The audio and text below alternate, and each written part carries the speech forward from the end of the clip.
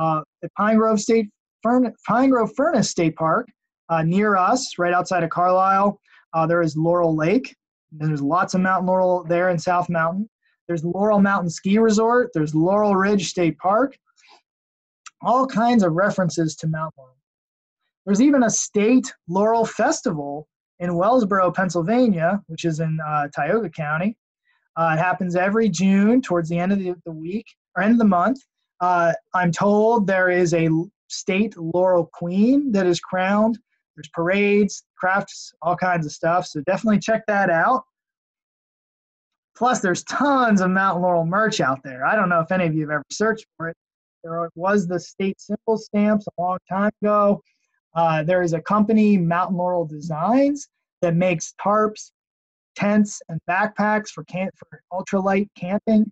There's wine, there's beer, there's candles, and of course the spoons that we talked about earlier, and any kind of uh, item that you would like, you can get Mountain Laurel on it. It's also been inspiration for a lot of artists. So if you search around, there's a lot of really beautiful fine art, watercolors, botanical drawings, uh, photography.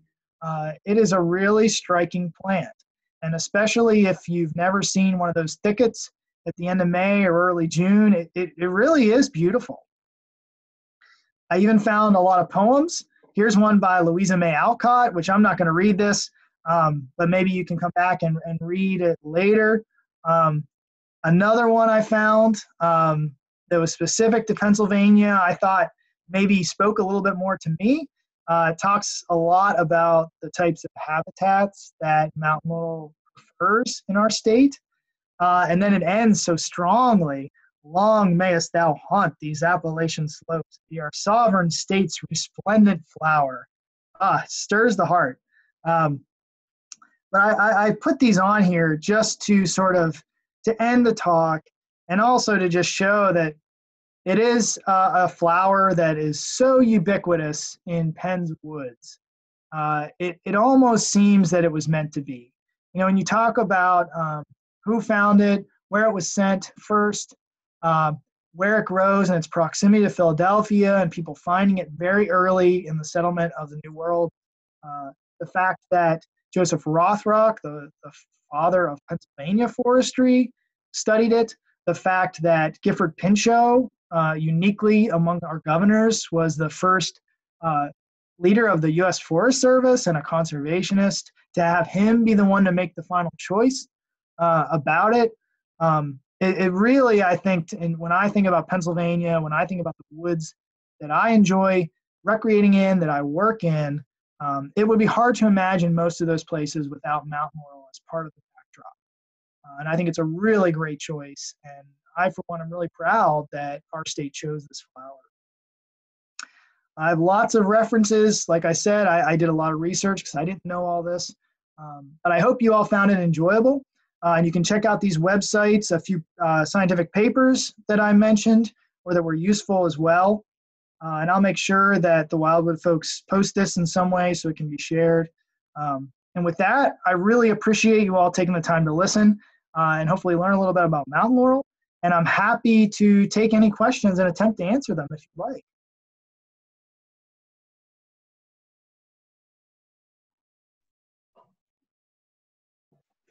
Right. Thank you very much, Kelly. That was wonderful. Um, so there were some questions that came through. I tried to write them all down so I wouldn't miss any. All right, lay them on me. All right. First, we have one from Jen, Ella, and Molly. Um, we talked about how mountain laurel, is, mountain laurel is poisonous to animals, and they asked if it's also poisonous to us if we eat it. Yes, it is. And, um, you know, you can look it up online. There's a lot of information about um, Native Americans and some colonists using it for certain ailments. But again, it comes down to anything, it's the dosage, right? Um, but it is considered toxic. Uh, and actually, if you do some further research, there's a thing called um, mad honey, which is from Nepal, but the same toxin is in rhododendron species they have, and they actually sell that honey as medicine or hallucinogen. Um, So I don't know that I would recommend trying it at all and consider it toxic. It's not toxic to touch like poison ivy would be. It's fine to be around it. I'm usually covered in the pollen if I'm trudging through it in the summertime, uh, but you don't want to eat any of it or uh, eat any honey that's been collected by honeybees um, from Mount Laurel. Okay, makes sense. Thank you. All right, we have another question from Molly. Um, will the flowers make new pollen after it flings it out? Uh, no. So they're only going to make pollen once. And with a lot of species that have some sort of unique mechanism for distributing the pollen, it's sort of a one and done sort of situation. But with each plant, you know, if it's an average size four to six foot plant, it may have a few hundred to a thousand flowers. It's still producing a lot of pollen. Uh, and it's really counting on only one or two or a handful of bees making it, right? It's going to throw as much pollen, uh, you know, hit those filaments with as many bees as they can and hope for the best. That's all any plant can do. So it will only produce once. That flower will die. Uh, if it was pollinated, then it will produce that fruit. If it wasn't, there won't be any fruit there. It'll just be sort of the dead flower stem. Uh, but the next year, it'll push up new flowers and new pollen. Okay, nice. Thank you. Okay, we have one from Ella Gold. Do the flowers close up at night or do they remain open? That's a great question, and I did not find any information about that. My speculation would be that they remain open a lot of flowers that are potentially pollinated by moths are the ones that have the variegation in them. So if you look at a lot of orchids, a lot of other wildflowers, a lot of species have a, a white, a yellow, a pink, a blue uh, variegation in the petal. And a lot of that stuff is on a different light spectrum. And you know, moths and butterflies see in a lot of other lights that we cannot see. And those variegations tend to actually be an attribute that's probably more like a giant neon sign or bulletin board for the right insect to fly in there, almost like a landing strip. So, given that it has the variegations, my guess is they stay open at night. But I, I don't know for sure, and that's a great question. Hmm, that's interesting. That makes sense. I mean, I, now that I think about it, probably too, the, the fact that it relies on those filaments being stretched really taut it probably wouldn't be beneficial for that plant to open and close very many times, right? Because if you think about a spring, the more times that it flexes, the less strong it is. So my guess is that when it's open, it's open, and then once it's touched, those filaments spring, and that's pretty much it. I don't think the open and close would really benefit those filaments. Hmm. Those are my two speculations. There's, that was hey, a great they, question. They sound good. It makes a lot of sense. Right. So Karen asked, why would it be more prevalent for upslope and higher elevation? Is that temperature related? Um, and then would that mean that it wouldn't grow as well down here in the valley? Well, uh, generally speaking, a lot of our ridge tops tend to be more acidic because all the limestone, which is more calcium or calcareous, uh, eroded down into the valleys. So that's why the valleys have such uh, better soil for agriculture. And a lot of our ridges, especially right around Harrisburg, tend to be really rocky.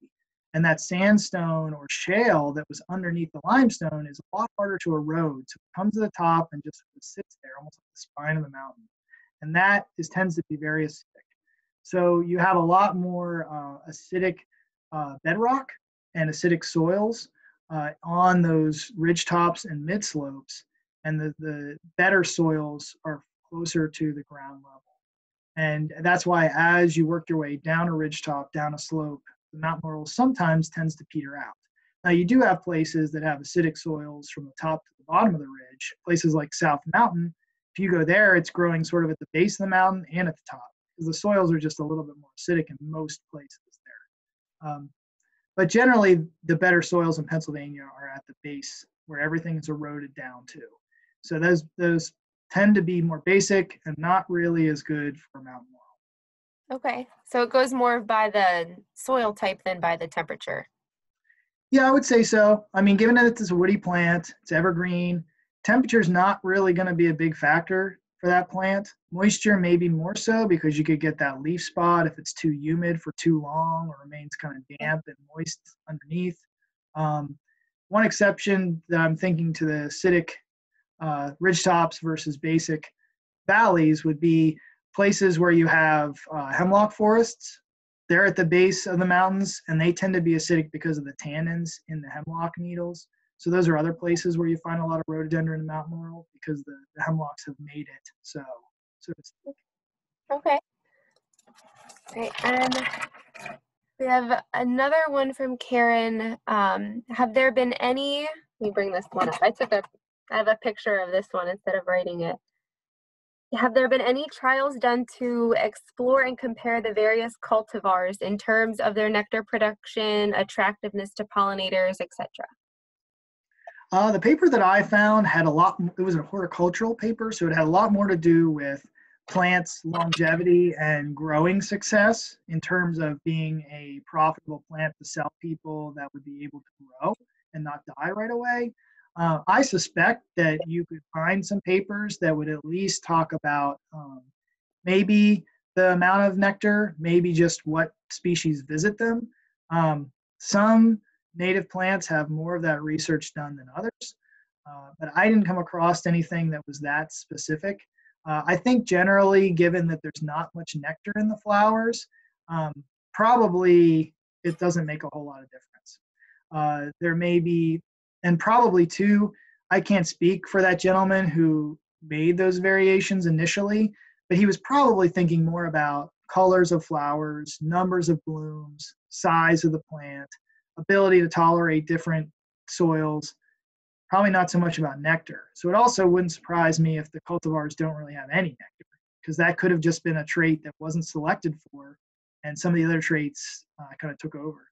Or maybe a dark pink one that he chose just happened to be one that didn't have a lot of nectar and then that's sort of the mother or father plant that's gone down through the, the line of plants if that makes sense. Okay yeah.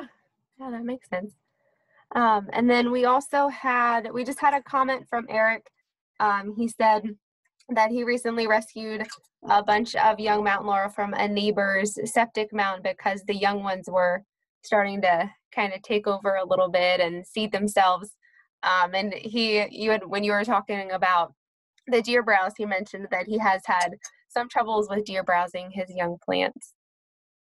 Okay, yeah, that sounds about right. And I mean, deer are very uh, fickle and finicky about what they eat when they eat it. So, um, two, it probably has a lot to do with what else is growing there. If there's not much else to eat there, then they may favor the mountain laurel more than they would in a typical forest setting where there's more choices. Um, okay, that's great. And we have all of the comments now that are coming in are just saying how great of a job you did and who knew you could talk about Mountain Laurel for an hour. I didn't either, to be quite honest. I was hoping you could, uh, and I hope it was entertaining. And I thank you all because I appreciated the opportunity to talk about it. I advocate very strongly, as you can imagine, for all of our native plants. Uh, but especially now for mountain laurel, now that I know so much more about its history. Uh, and uh, Kayla, we'll have to make sure we find some way to to share the slides too, if we can, uh, PDFs, yeah, something maybe, because that way folks can check out those references if they would like to. Yes, yeah, if we can do that, I can send it to everyone who attended. And um, I also had asked you about recording it, so I've been recording it. It did kick me out for some reason for a little bit, um, but I got back in, so might have missed a couple slides. So if we had those PDFs, that would be that would be great. So okay, awesome. Yeah, sounds um, good. Yeah, so thank you again, and I just want to remind everyone, like Heather said at the beginning, that we will be having the next lecture in two weeks on the 26th. That lecture, though, will not be on Office Suite HD meeting. We'll actually be doing that one through Microsoft Teams. Um, so I just wanted to give you a heads up about that. But sign up is still the same if you haven't registered. Feel free. And thank you all for joining. Thank you, Kelly. No problem. Happy to do it. And uh, thank you all very much. Thank you. Have a good night, everybody. Hopefully, we'll see you next in two weeks for the next one. Thank you. You're welcome. Thank you for watching. You guys had wonderful questions. You girls are very smart. Thank, Thank you. you.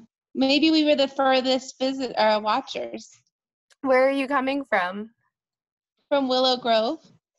Oh, I I did see that. Where is that at? I'm not sure. Um, it's near, um, it's north of Philly, about Oh. ten miles north. Oh, wonderful. Um, but I, but, um, we, I grew up in Harrisburg and they, um, my girls have visited Wildwood a lot. Oh, that's wonderful. That's wonderful. Thank you for joining. That's one of the advantages of having virtual programs. So It doesn't matter where Definitely. you are. And just so you know, there are grandchildren. Hi, guys. Hi. That's wonderful. Thank you all so much. Good night. Have a good night. Bye. Bye.